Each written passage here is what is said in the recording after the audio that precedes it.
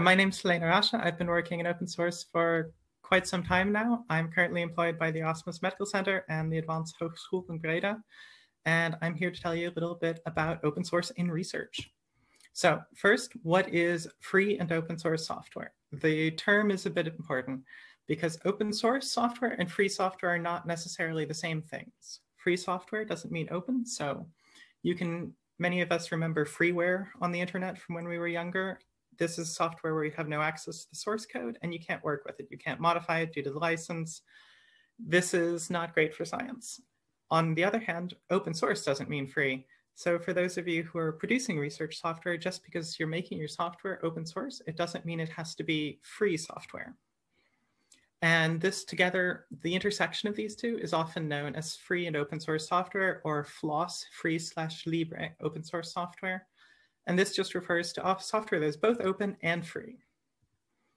Open source is simply licensing your work so it can be used how you want making your software open source is just a matter of setting out the terms of how you want your software to be used. It doesn't mean that you have to give up control of your software. It doesn't mean that you're putting it out to the community forever.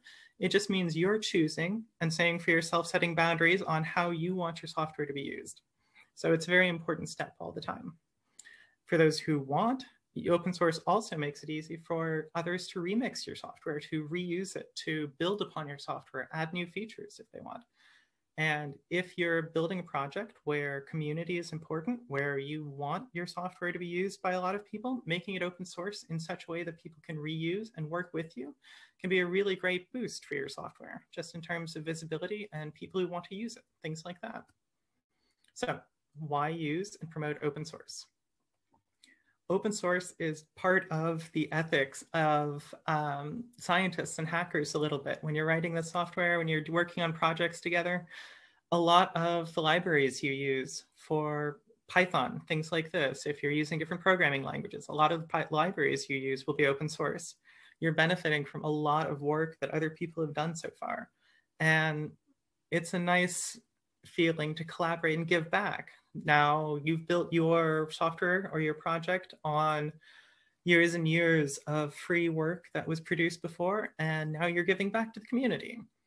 It also means distributed innovation. So when you're making software open source and free so that other people can work on it, this means that other people will give back contributions. They'll report bugs when they have issues running your software. They'll tell you new features that they want. You don't have to implement them, but you're able to take all of these good ideas from the community and things like this.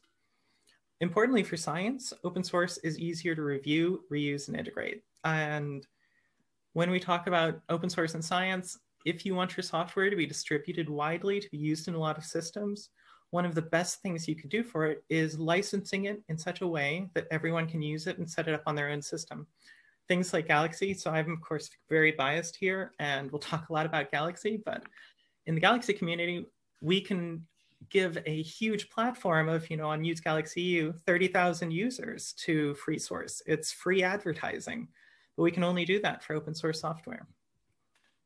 There are a lot of risks associated with closed code too. When you have closed source software that's used in science, you can't review it very easily. The community can't review it very easily. Only the reviewers of the paper sometimes. And if there are errors in the software, if there are bugs, then these can be missed for years and years. And these will affect a lot of scientific results downstream. So having open source reviewable software is very important for reproducible, good quality science. A lot of the journals are adapting this and starting to require disclosure or uh, publishing of your source code for all of your software too. This is, from a scientific perspective, really a good thing for the community. So how do you know if something is open source? You'll see on a lot of GitHub repositories, which I think everyone here is familiar with thanks to OLS, is a little license icon on the right-hand side of the repository. Also on things like slides, you can see the CC BY of these, this slide deck at the top you can look for a couple of different files within the license. And these files need to be there if it's going to be open source software that you can reuse. But it's not just for software. I know I talk a lot about software, but it's also for data. There are different licenses for data for things like databases that you want to make accessible, for photos or training materials, things like this. All of these are options. And if you want people to be able to use them, you need to license it. One of the common fears I hear about a lot is if I publish my software online, if I do it in the open, it'll be, I'll be scooped. Someone will take my software and claim it as their own. But this isn't necessarily true. If someone steals your software, there is at least a traceable log in GitHub, or which we'll get to in a minute. Um, there is a copy of your software already online, that, and if you already have a community around that, it'll be very obvious that someone took it. And if you're still worried, I've heard some people saying that they publish preprints as a way to document that, hey, they were first to write the software and to really make sure they stake their claim on that software. Um, so don't worry about that. Just work in the open. It's better for the community. It's better for the world and it's good for science. Publishing, sharing open source code. One of the easiest and most effective ways to do this is version control. I'm sure you're all learning about Git and GitHub if you haven't already, but version control is a fantastic way to publish and share code with others. It gives you a whole timeline of your software and it makes it easy to reuse, contribute, and make modifications to your software. So why? Collaborating is easy. One of the common things is reverting accidents. If you make some bad changes in your code or one of your collaborators does, you can always revert. You can always go back to before then. It makes it easy to integrate the changes from multiple developers. Like with Galaxy, there are some 200 contributors to the code base or the training materials as well. And all of us can work together collaboratively because we use version control. Also, offsite copies of your software everyone has computer issues. Everyone loses a hard drive at some point or gets their hard drive encrypted by some hackers, things like this. If you have all of your work in the open and public, then you can just download a new copy again and start working again. Git and GitHub are very common, a very common choice. Git is one of the most common version control systems. There are others. GitHub likewise is one of the most common Git hosts, but there are others um, depends on what you want to use. One of the nice things you get with GitHub is a large existing user base and large community of people who will be able to contribute to your software. A low barrier for entry. If you need to learn more about Git, there is a great uh, set of lessons from the software carpentries. But one of the important notes is that Git is very, very complex. My partner teaches a um, get together session where they teach how to use Git to the colleagues in our office. And there's just so much to learn about Git, but you don't need to learn all of it now. Just start with the important parts, the rest comes later. There, you'll see a lot of guides online that'll say, oh, you need to learn about how the commit graph works and things like this. But if you just want to publish your code, you don't need any of the fancy stuff. So a few steps to make your work open source. A README is a very important part of this if you want people to know what your software is and how to start using it. That's the number one thing people will see. So be sure to include lots of good images there. License, if it has, if it's going to be open source, it needs a license file. So it takes two minutes to add a license with GitHub. It's really easy, just do it. Same with contributing guide. Uh, GitHub has some template contributing guides that make it really easy to tell people how you want them to contribute to your, uh, to your repositories having a public roadmap.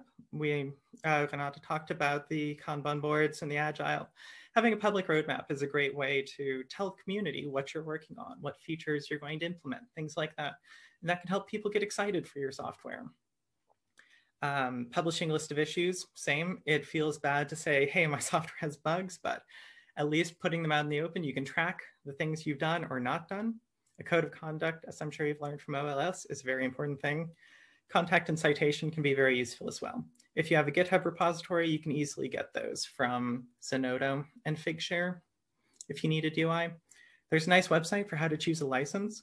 Um, there are lots of different license choices, and they give you a lot of different freedom to choose what you want your software to be able to do or what you want other people to be able to do with your software. Some people don't want businesses to use their software for free and there are licenses that support this or some people want everyone to use it for free. Lots of different choices. But the ultimate goal of course is full reproducibility and we're getting a lot closer with things like jupyter and binder where you can publish your software but also a notebook where people can run your software online which is a fantastic way to get people to use your software. Uh, taking it further there's a lot of ways for you to contribute if you're a first time contributor and to get involved in the open source software movement and contributing to the open source communities. So there are lots of nice links here if you want to explore them. And lastly is the Turing Way has a nice handbook on reproducible data science and making software open source and publishing and making it accessible to people. So with that, thank you.